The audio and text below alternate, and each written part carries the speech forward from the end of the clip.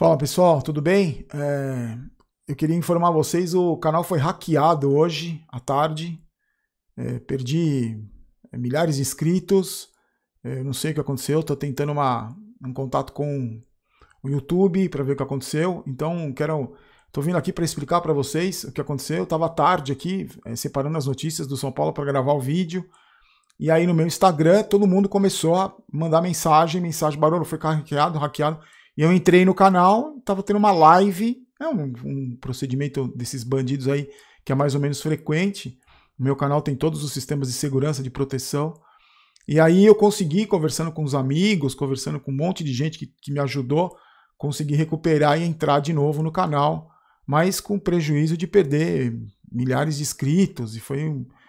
Então eu estou tentando agora é, ver o que, que eu posso fazer para que isso não aconteça de novo, porque os dispositivos que eu uso têm as senhas, então eu peço desculpas para você e agradeço a todo mundo que, que me avisou no Instagram, que me mandou mensagem dando força e dando dicas do que fazer, procurar o YouTube no Twitter, fazer o, o que pode ser feito para tentar resolver esse problema. Então, é, acontece, essas coisas acontecem. Em todo caso, tomara que continue tudo normal, que eu continue conseguindo postar aqui e Felizmente, esse tipo de vagabundo, de safado, é, tem no mundo inteiro e a gente está sujeito a isso.